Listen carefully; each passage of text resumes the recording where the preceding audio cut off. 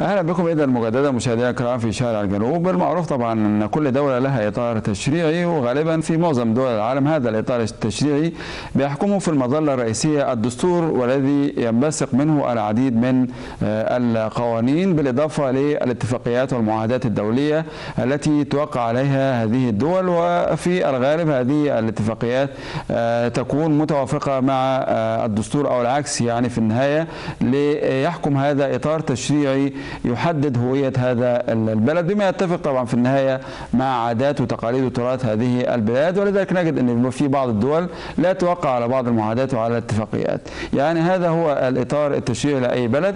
آه، اليوم سنتحدث عن أهم المنجزات التشريعية في الفترة آه، الماضية وتأثيرها على المجتمع بشكل عام وتغيير حياة الناس بالتأكيد لأن أي تعديل تشريعي المفترض بيبغي تغيير أحوال الناس إلى آه، الأفضل. ده اللي هعرفه من ضيفي العزيز آه، آه، طبعا الباحث القانوني السيد أحمد شوقي المحامي بالاستئناف العالي ومجلس الدولة. آه، سيد أحمد أهلا بك معنا أهلا وسهلا نورنا وشرفنا حضرتك. أهلا وسهلا. الشرف لنا يعني أنا شرحت بس كده بشكل عام للسادة المشاهدين يعني بسم الله ما شاء الله. هو المقدمة كانت كافيه لتعريف الناس إحنا هنبتدي إزاي وهنتكلم عن إيه؟ نعم. طبعا هو إحنا بداية كقانون. إحنا عندنا قوانين ثابتة. ال- ال- القانون الأساسي اللي هو الدستور اللي هو بنقول عليه الأب في ال- في الدولة نعم. يعقبه قوانين القوانين دي بتتفرع أو تنبثق عنها إما قوانين خاصة أو آه، لوائح خاصة لت- لتنفيذ القوانين نفسها. نعم نعم إحنا بداية طبعا هو كل قانون ولازم يتوافق زي ما حضرتك ذكرت مع أعراف نعم. الدولة وأعراف المجتمع اللي إحنا ماشيين فيه. نعم. لذلك حتى في داخل الدولة الواحدة قد يكون هناك بعض القوانين نعم. آه، تطبق بحيثيات مختلفة من مكان لآخر. صحيح. يعني إحنا عندنا مثلا في العرف آه، جرت العادة في الصعيد.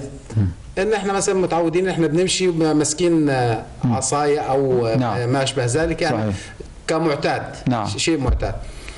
طبعا إحنا لو مسكنا العصاية دي وجينا نمشي بيها في اسكندرية مثلا أو في لك القاهرة ده سلاح هتعتبر هتتجه لاتجاه تاني نعم. وهتبقى آه، داخلة في اتجاه اللي هو السلاح الأبيض نعم.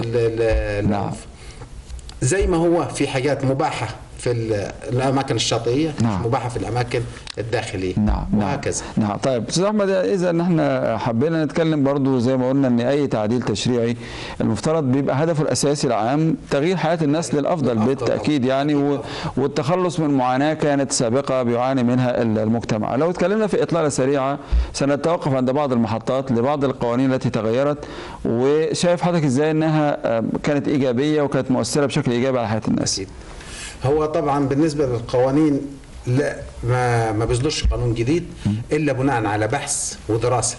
البحث والمناقشة والدراسة البحث بيبدأ من القانونيين المختصين به بعد كده بيبتدي بلجان مجتمعيه اللجان المجتمعية دي بتناقش طبعا أهل الدراية وأهل القانون وأهل الخبرات نعم. سواء محامين أو ق- قضاة أو دارسين أو باحثين للقانون نعم. بعد كده بيعقب ذلك صياغة للقانون دي ثم يعرض على مجلس الشعب لإقراره أو تعديل بعض أحكامه وطبعا زي ما هو في في مجلس الشعب أعضاء أو نواب مختارين عشان هم يقروا أو ما يقروش القانون في لجنة في المجلس لجنة الشعب تشريعية. لجنة تشريعية. تشريعية لجنة قانونية للصياغه بالظبط في أساس القانون محامين كبار و... أكيد طبعا نعم. إحنا النهار- النهارده بن- بنتكلم في مجلس الشعب آه، فيما يقرب آه، من الخمسين عضو نعم. من المحامين صحيح غير ما من هم مشتغلين بالقانون. نعم نعم. فهي الفترة اللي فاتت شهدت بعض التعديلات كانت تعديلات كويسة. نعم. لو ضربنا بعض يعني أخذنا بعض الأمثلة يعني خاصة يعني يعني مثلا لو اتكلمنا في العشر سنين الأخيرة في تحولات كبيرة حدثت في المجتمع مثلا منها انتشار ال social media ووسائل الإنترنت وما إلى ذلك والجرائم اللي كانت يعني مش موجودة بسبب عدم وجود هذه الوسائل. لما انتشرت بشكل كبير جدا أكيد طبعا. بقت هذه الجرائم موجودة. يعني هو حاليا طبعا إحنا كانت زمان ال- ال- الجرائم هنتكلم لو اتكلمنا عن قانون العقوبات مثلا والتغييرات اللي حصلت فيه إحنا هنتكلم عن التعديل بتاعه اللي هو 185 سنة 2023 نعم. ده تعديل لقانون العقوبات المصري. كان التعديل منصب بصفة أساسية عن الأخلاقيات اللي ظهرت في المجتمع. من من انحراف في السلوك. نعم. انحراف السلوك من التحرش ال- التلميحات الجنسية والإباحية والكلام ده. وكمان اللي هو ال social media ووسائل الاتصال. لأن إحنا دلوقتي بنصادف إن هو في بعض الناس بتستغل خطأ. صحيح. سواء الاتصال سواء الهواتف الاتصالات اللاسلكيه واللاسلكيه والكلام نعم. ده كله. فطبعا بما إن إحنا آه، المفروض كمجتمع بنحارب الحاجات دي فصدر القانون ده اللي هو 185 سنة 2023 نعم. عدل بعد أحكام قانون العقوبات منها المادة 306 آه، مكرر نعم. وده اللي كان عدل آه، مواد الحبس عن ال- التلميحات الجنسية والإباحية أو آه، التحرش بمعنى أدق يعني عشان نوصل المعلومة نعم. آه، للمستمعين سواء المتخصصين أو غير المتخصصين. نعم نعم. آه، كمان آه، شدد العقوبة في حالات معينة اللي هي ما يكون ال- ال- القائم على العمل ليه صفة آه، سواء آه، رئاسية على اللي هو المجني عليه نعم. كما لو كان مدير في العمل مدير أو مثلا وما ذلك آه، اللي هم صاحب البيت اللي هو عنده خدم أو ما أشبه ذلك. نعم. لأن هنا عقوبة تشدد. آه فبتكون العقوبة أشد شوية لأن ده المفروض ان هو تحت ولايته يعني. ليه سلطة. آه. آه, ليه سلطة. فالسلطة دي ب- بتدي له وضع أكبر من المتاح بس للعام. يعني استغلال في السلطة و- وفي آه، نفس الوقت استغلال- بيعمل استغلال جناية. للنفوذ بتاعه استغلال السلطه نعم بتاعه. نعم.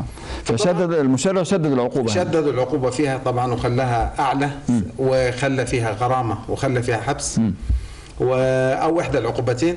طبعا ده من شأنه إنه هو أكيد النهارده بيحقق الردع العام للمجتمع. نعم. النهارده ما أجي أنا اسمع أعرف إن أنا لا العقوبة بتاعت التحرش أو التلميحات الإباحية أو ما يشبه ذلك نعم. من سواء لاسلكيه أو لاسلكيه لأن كان المعتقد إنه هو لا أنا بتكلم أصل الرقم بتاعي مش متسجل. آه، أنا بتكلم أصل الصفحة بتاعتي دي مش مش مسروقة مش مسروقة آه.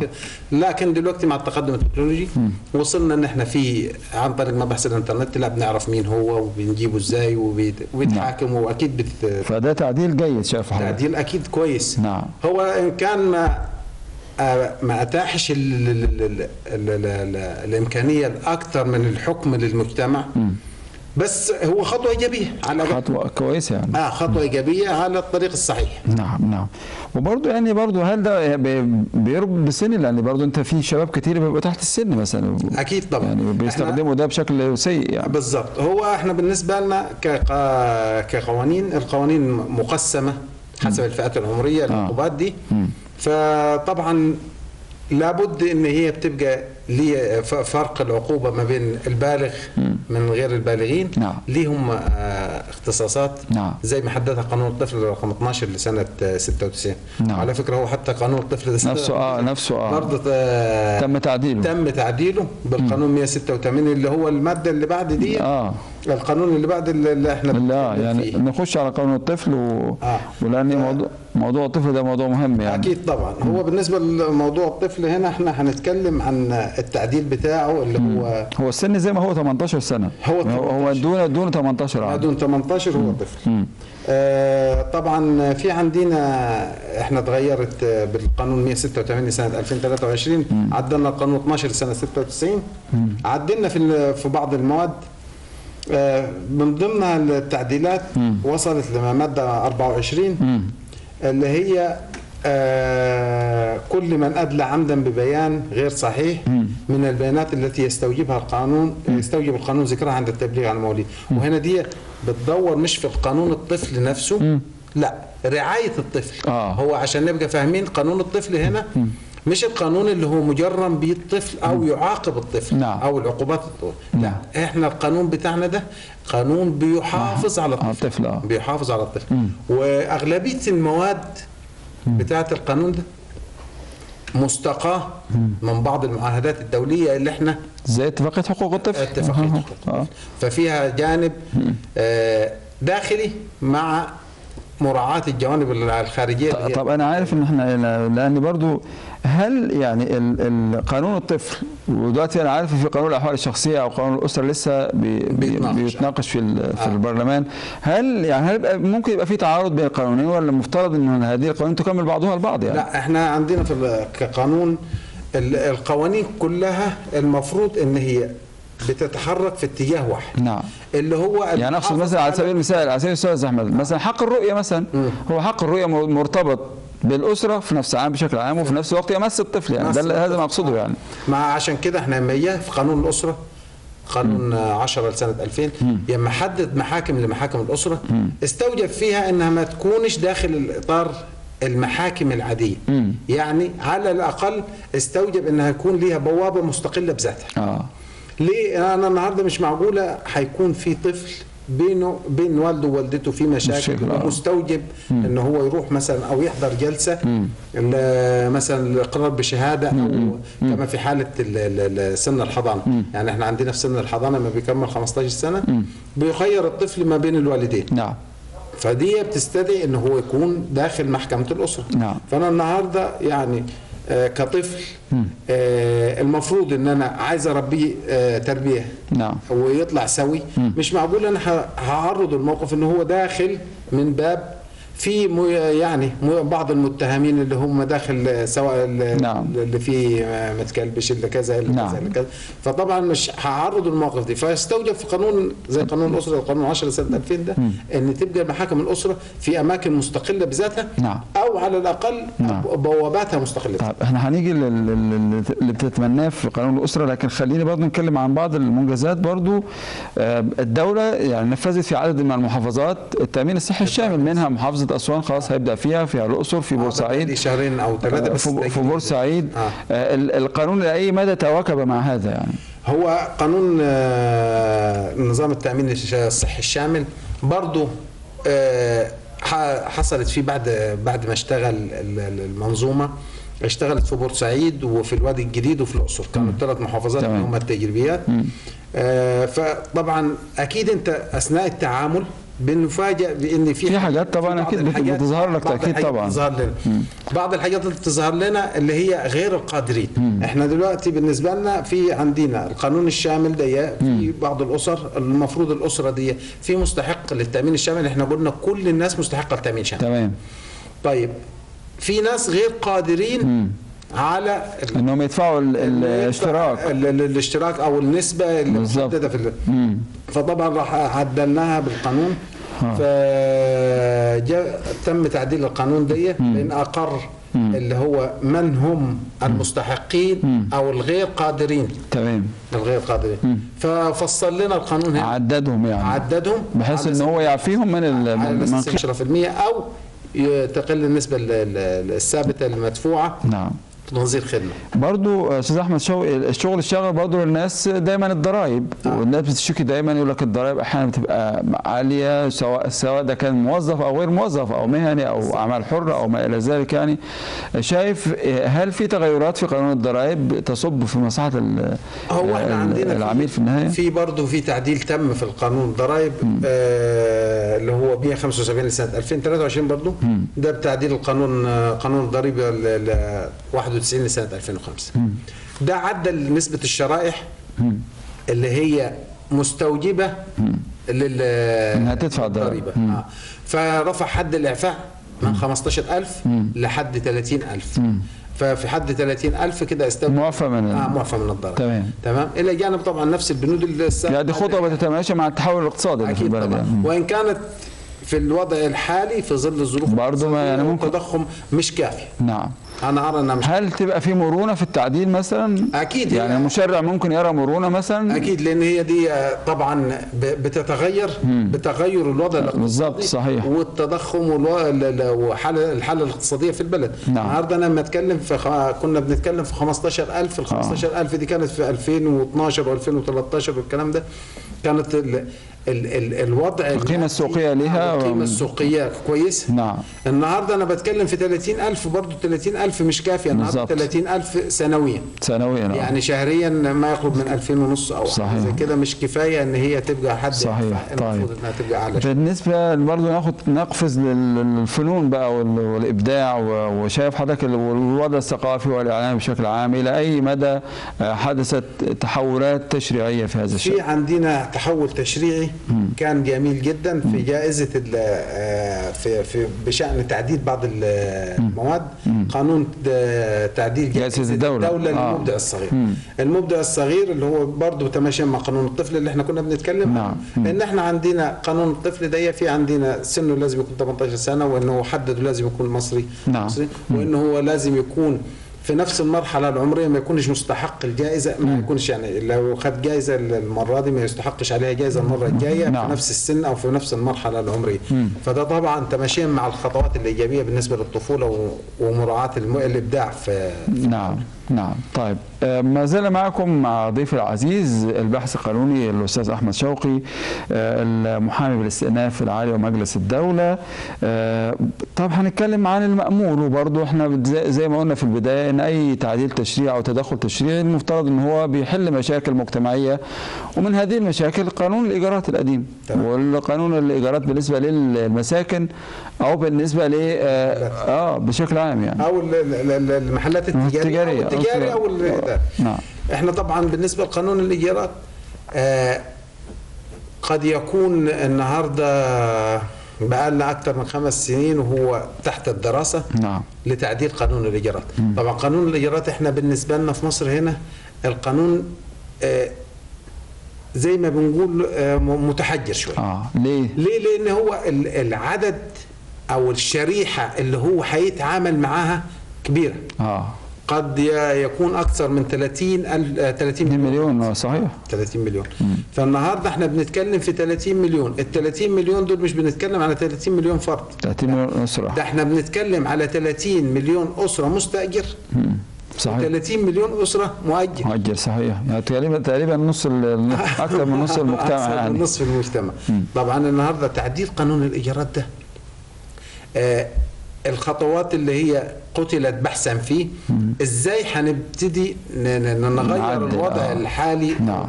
فهي المقترح الأشبه أو بس غير مقبول يعني النهارده نعرف مثلا عمارة في مكان في بيبقى المتر فيه بالشيء الفلاني وكل إيجاراتها مثلا 100 جنيه في آه، الشهر. يعني ده كلام يبقى غير غير منطقي وغير واصلا وحتى حرام شرعا يعني أعتقد هو هو هو ال- ال- ال- المشكلة إن إحنا عندنا قانون الإيجارات بنبص في حالات كتيره من ال- ال- ال- المستأجرين ما بي ما بيراعيش ال- الجانب الأخلاقي فيها نعم وفي نفس الوقت بنلاقي برضو بعض المست... المؤجرين نفسهم بالظبط. بنفس الكيفية بيتمنى يقول لك والعياذ بالله يتمنى العماره تقع يعني آه. يعني ده آه. مش لا ده إحنا بن- بنفاجئ بحالات كتيره يعني نفاجئ إن في من يفتح المية مثلا بحيث إن العمارة آه، تبوش أو يوصل لمرحلة تبقى قايلة للسقوط يعني. قايلة للسقوط والإزالة والكلام نعم، ده كله نعم.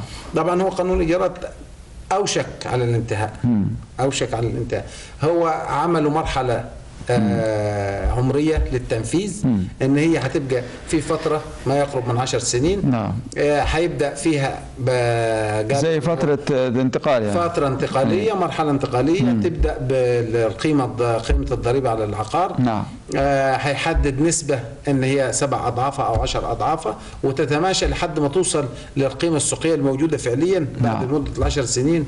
وفي الحالة دي هنبقى بالخيار. نعم. ما بين أنا أكمل في المكان ولا مكان تاني. صحيح صحيح. فدي طبعا إن شاء الله نتمنى أن يرى النور يعني هذا نتمنى أن يرى طبعاً النور لأن برضه في النهاية أنت يعني مش ما ينفعش لا تيجي مع الم- المستأجر ولا المؤجر يعني. في النهاية تبقى تحافظ على على مصلحة الطرفين يعني. أنا أنا أنا بالنسبة لي كقاعدة قانونية لازم تبقى عامة ومجردة. نعم، صحيح. ولازم تبقى ملزمه صحيح. فأنا ما براعيش شخص صحيح. أو مرأة وفئه معينة. لا أنا ب- ب- بحط قاعدة نعم. على الكل. طيب قانون الاسره أو قانون الأحوال الشخصية اللي يعني طوفنا إليه سريعا لكن يحتاج إلى تفصيلات كثيرة ويحتاج إلى حلقات حقيقه ممكن نخصص حضرتك حلقة في هذا الجانب. لكن عموما يعني اللي أنت شايفه في قانون الأسرة اللي هو لسه بيتناقش في مجلس النواب. نتمنى أن يرى النور وبرضه مشاكل كثيره برضه في الأسرة. يعني هم مثلا الحضانة حق الرؤية حاجات كثيره في في القانون متلعبكة يعني. هو للأسف إن إحنا عندنا الثروة المشتركة مثلا. يمكن أهم ما في المشوار أو في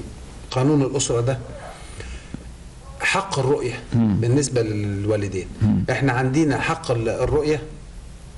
افترضوا القانون إن هو ساعتين اسبوعيا أنا النهارده لو حطيت نفسي مكان الوالد الأب عايز يشوف ابنه فأنا أنا النهارده بستنى أروح بيتي بعد شغلي عشان أقعد مع أولادي. صحيح. فتخيل إن هو لا هو مستني الأسبوع يخلص عشان يوصل يوم. الخميس آه. عشان يوصل الساعتين. ده وممكن بتعنت من الجهة الثانية يقول لك لا الساعتين مش هروح.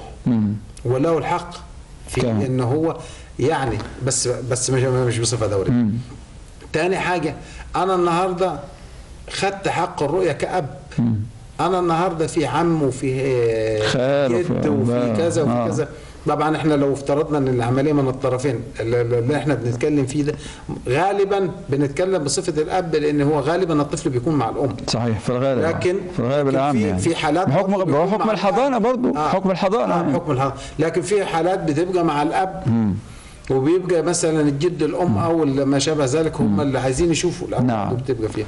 فهي في مشكلة كبيرة عندنا فيما بقى ما بين حق الرؤية وحق الاستضافة ما بين الوالدين. وما بين ما ال- درجة القرابة الأعلى من الأبوين. آه. فدي مشكلة مشكلة مشكلة ضخمة. شايف إن القانون يعالجها إزاي يعني؟ هو أنا أرى يعني و... و... و... وطبعا وفوق كل ذي علم عليم أن هو يقترح بعض الأمور المرنة في آه. هذه الأمور. ما تبقاش الساعتين هم الساعتين ثابتين. نعم. ما يبقاش ما فيش حق للاستضافة بين الوالدين. نعم. لازم النهارده الطرف اللي هو مست... الحضانة في يده لازم يبقى ذا مرونه صحيح. مرونه نعم. الطرف الآخر صحيح. بحيث ان هو الطرف الثاني لأن أنا النهارده الاكثر من ده كله ما يترتب على حق الرؤية. أنا النهارده حق الرؤية ده لحد سن 15 سنة. بعد نعم. سن 15 سنة يخير ال... يخير الصغير ما بين ال- الأبوين. نعم. المقيم معاه واللي نعم. مش مقيم معاه. نعم. طبعا. طيب هل القانون برضو عالج برضو؟ لأن كان في ناس بيكلمونا على مسألة الحضانة وترتيب ال- ال- الحضانة وفي ناس بي... عايزين يعملوا تعديلات على التل... بص يا باشا إحنا إحنا عندنا عموما آه، ما يتعلق بالأمور لابد أن نعمل عليه الشرع مم. بالنسبة لنا إحنا في قانون الأسرة بنبدأ بما لا ي- بما يتفق مع الشريعة الإسلامية مم. فإحنا ترتيب الحاضنات في الإسلام الأم مر- مرتبة مم.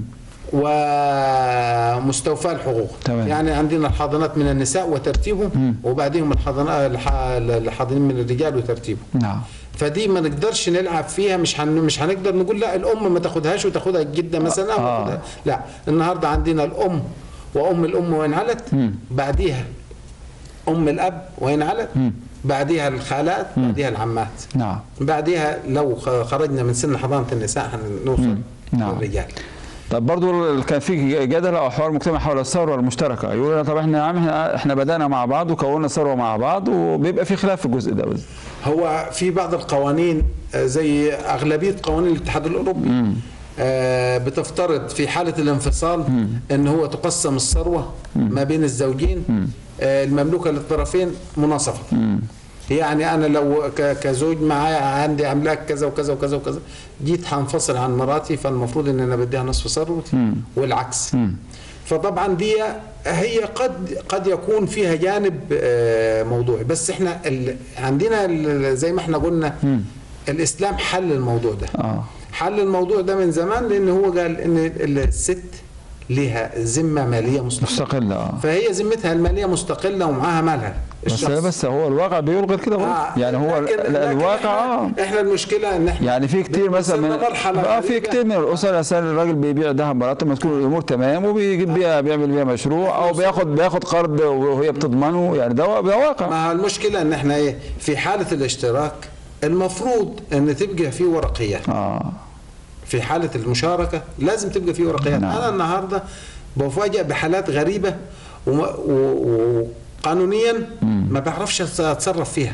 يعني أنا يعني حضرتك نصيحه نصيحة أخيرة مهمة جدا لأن ده ما يزعلش برضه حتى لو إحنا كويسين مع بعض وكل بس نكتب ورق إيه هو المشكلة؟ ربنا قال لها والقانون قال اللي ربنا قال إذا تداينتم بدين فاكتبوه. لاجل مسمى فاكتبوه وليكتب بينكم كاتب. إيه صحيح. المشكلة صحيح. إن أنا النهارده مراتي هتساعدني أو هتشارك معي هعتبرها شريكة وأنا نعم. لو جيت لحضرتك خدت من حضرتك أنت اللي هتشاركني نعم. هعمل ورق ولا هنتكلم هعمل ورق، لا. هنعمل ورق طب إيه المشكلة إن أنا أعمله مع مراتي صحيح صحيح تمام سواء مراتي أو ما ممكن يكون أطراف تاني تبع مراتي أو أطراف صحيح تبع صحيح. وده حفظ الحقوق ولا ضير عليه يعني لا. شيء عليه. نتمنى إن شاء الله يعني دي بعض ال- الاقتراحات برضو اللي قالها ضيفي العزيز آه، اللي بيتبناها طبعا من الناحية القانونية وفي النهاية بتصب في مصلحة ال- المجتمع. أنا كنت آه، عايز أقول حاجة. اتفضل ختاما إحنا بنقول إن كانت القوانين وضعت لحفظ الحقوق لكن الأخلاق هي وحدها من تبني الشعوب. صحيح صحيح. فأنا النهارده لابد من إعمال الأخلاق.